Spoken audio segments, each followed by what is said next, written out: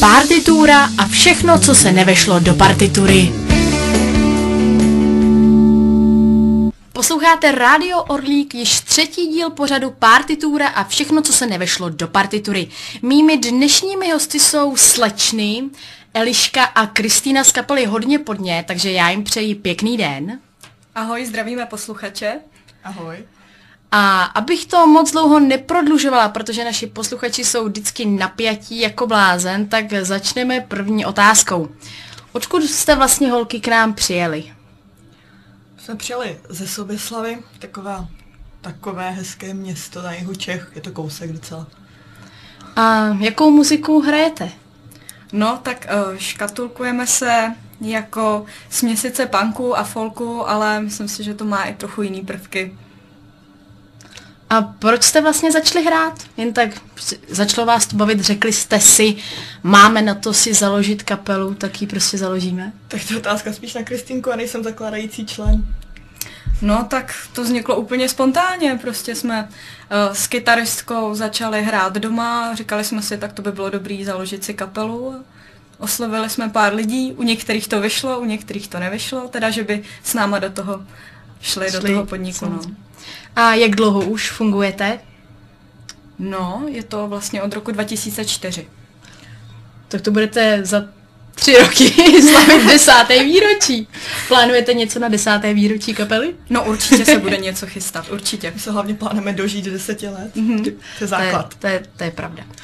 A proč název hodně podně? Protože nemálo po hladině. Hmm, to je filozofická odpověď.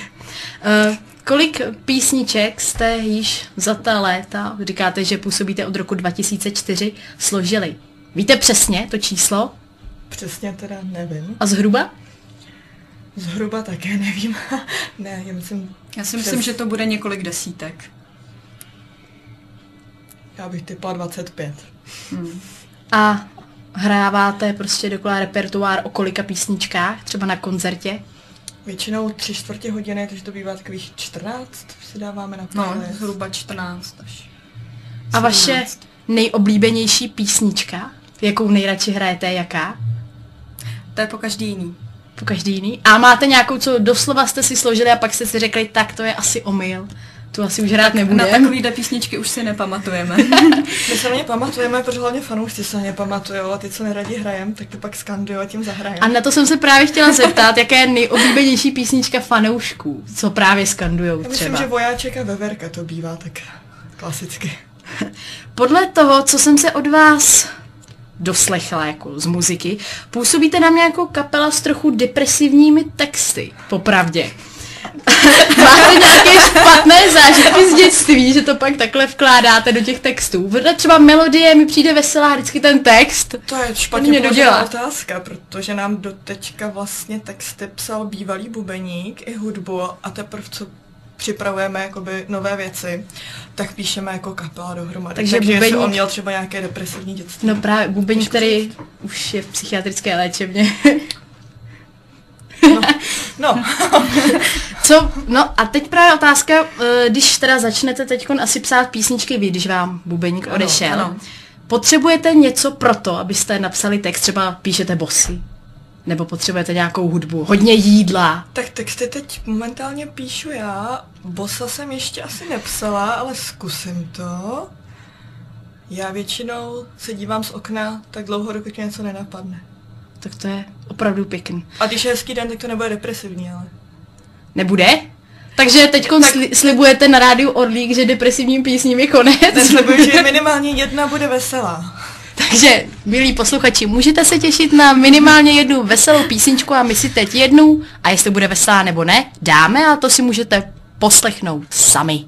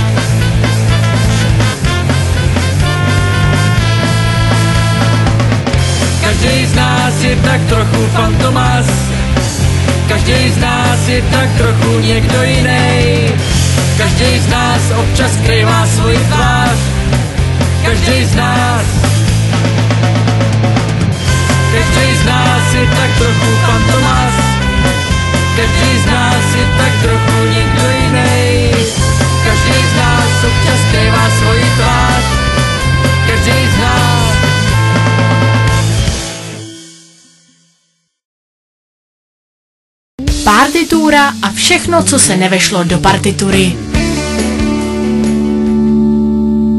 Ladíte frekvence Jihočeského rádia Orlíka, my už pokračujeme v našem i vašem pořadu partitura a všechno, co se nevešlo do partitury.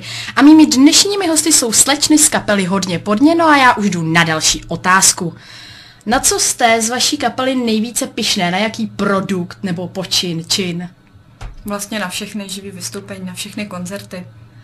A kolik členů tvoří vaší kapelu? Tak momentálně pět hrajících členů a manažer. To je nedílná součást. A proběhly už nějaké personální změny ve vaší kapele? Slyšela jsem teda o tom Bubeníkovi, tak... Máme Bubeníka teď nového, nebo rok už ho máme, rok, tak no. se nedá říct nového. A momentálně nemáme jednoho dechaře, odešla nám trumpeta, takže kdybyste někdo chtěl hrát na trumpetu depresivní songy, tak... Nabízíme volné místo. Takže nějaké webové stránky nebo e-mail, kam se mají posluchači ozývat? Takže hodně podně CZ nebo na Benzom klasicky. A právě váš bývalý bu- bubeník nyní slaví úspěch s jinou kapelou v podobě natáčení desky v Americe s bývalým producentem Nirvány, tak jak na to hledíte? Přejete mu to nebo naopak závidíte, protože já bych to asi kladně teda nenesla? Tak my mu to určitě přejeme. A trochu závidíme. Hmm.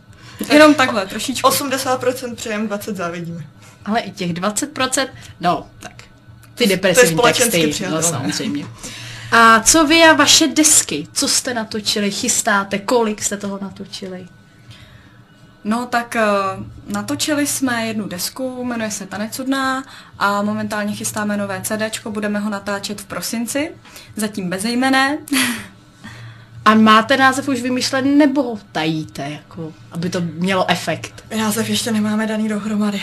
Nám se to tanecudná tak líbí, že je teď hrozně těžký vymyslet něco lepšího. Nejlépe zase tak dvoj, trojsmyslného minimálně. Mm-hmm. Takže sice nevíte, ale na oko se můžete tvářit, že to jako taková trochu už namachrovaná lepší kapela tajíte teda. My o tom přemýšlíme denodenně. Jako. Dobře, takže my si dáme teď další písničku od kapely Hodně podně ze Soběslavy.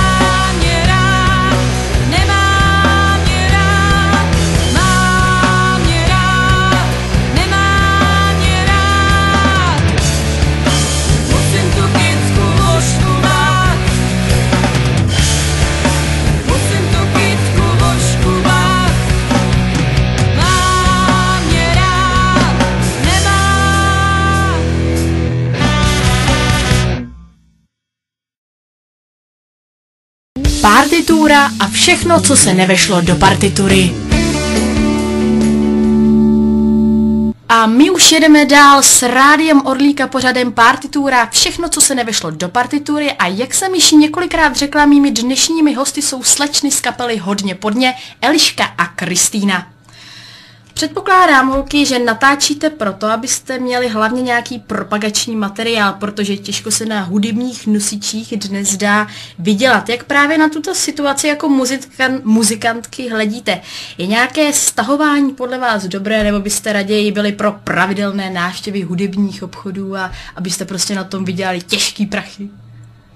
Podle mě stahování dobrý, že se rozšíříme do světa, takový volně přístupný, jinak se šíříme ty peníze. Rychle, levně. Účinně. účinně. Rychle, levně, účinně. Dobře.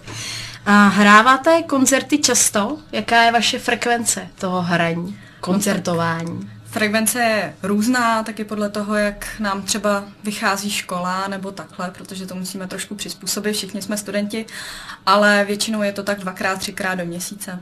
A hrajete doslova jenom s vaše koncerty, nebo třeba hráváte i na nějakých narozeninách, nebo na takovýchhle akcích? Většinou jenom koncerty.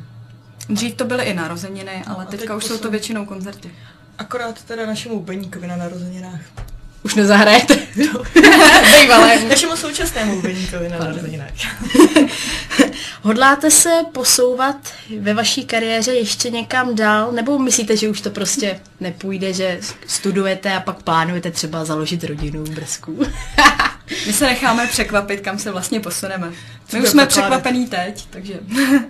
A jak hledíte na konkurenci, nebo jakou kapelu, což můžeme vlastně zmínit, byste nazvali vaší konkurenci? Tak každá kapela je naše konkurence, ale máme konkurenci Třeba tak rádi. z okresu, z okresu. nebo z blízkého okolí z jižních Čech, když to Z rozšířit. okresu tábor. Nic z vás nenapadá? Všechny kapely jsou prostě konkurence. Jsou všechny konkurence a hlavně máme takové hraní, že nějakého stylu přímo našeho, že by byla nějaká taková hodně podobná. Mě spíš žádná nenapadá. To mě taky ne. Žádná jiná s depresivními máme, texty. máme žád, samé přátelské kapely, takže Jen přátelské, takže vy jste Přátelé. takový trošku černý ovce vlastně. V té hudbě. trochu černé ovce.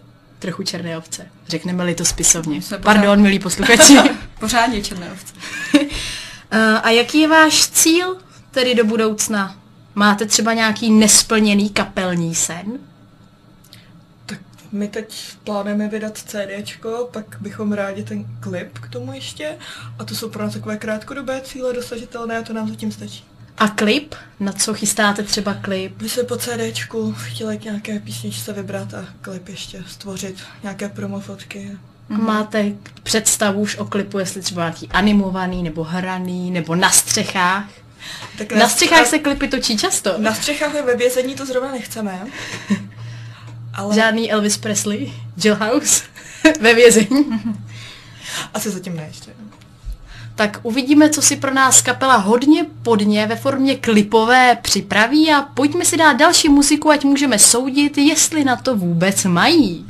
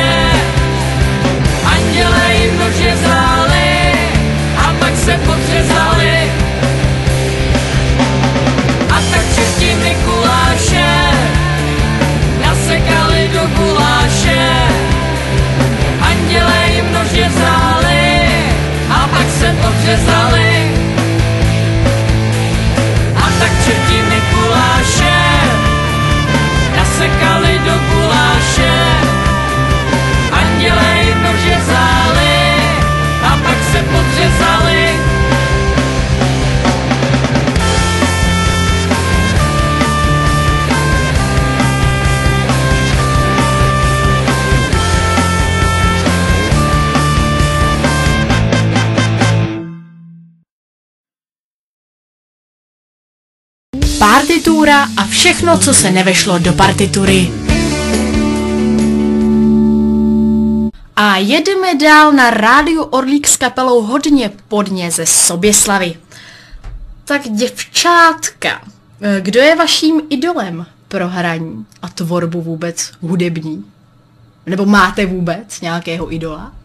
No tak můj idol je rozhodně Petr Fiala. Já nemám asi přímo idol, ale mám hrozně ráda folkaře a český Hmm. texty. A od koho nejlepší české texty? Nejlepší české Pro tebe texty, nejlepší české texty? Tak určitě to je Válka, Nohavica, Kryla, Neres. No a musí říct ještě toho Petra Fialu, jako. Fiala Klus. Mm. Je pravda, že to jsou majstrštyky. Sledujete nebo sledovali jste televizní hudební soutěže, jako jsou prostě Superstar, jaká Talentmánia.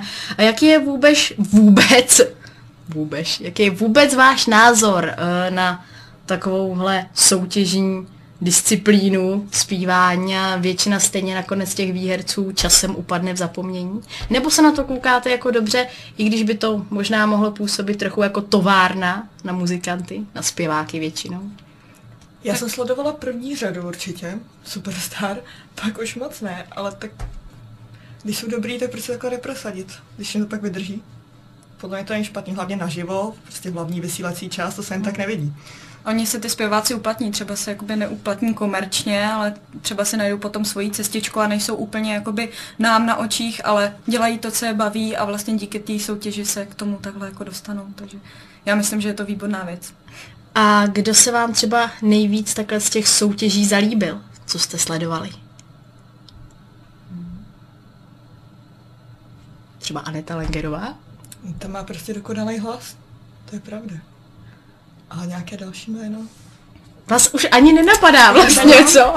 Hlavně, že mají ty své Právě- cestičky. Právě, že těch soutěžících už bylo tak strašně moc, že, že ty už se to nedá samozřejmě se pamatovat. nepamatujou.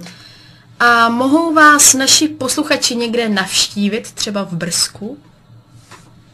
Na nějakém koncertě? Nebo, virtu- doma ne, nebo doma, není problém, můžeme si tady udělat seznamku. Tak my teď momentálně koncertování trochu omezujeme, protože vlastně připravujeme to CDčko, tak nám to zabírá docela dost času. Ale 2. prosince budeme v sobě slavy vlastně na naší domácí scéně v Kulturáku je koncert. Takže tam to bude dobrá akce. Přijďte. A virtuálně vás mohou navštívit kde? Na stránkách hodně podně CZ anebo na Benzónu si nás můžete taky najít. A pochopitelně na Facebooku, kde Na Facebooku. Ano, samozřejmě. A poslechnout teda předpokládám hlavně na Benzou. Ano. Přesně tak. Tak výborně, to byla dívčí strana kapely hodně podně na rádiu Orlík v pořadu partitura a všechno, co se nevešlo do partitury.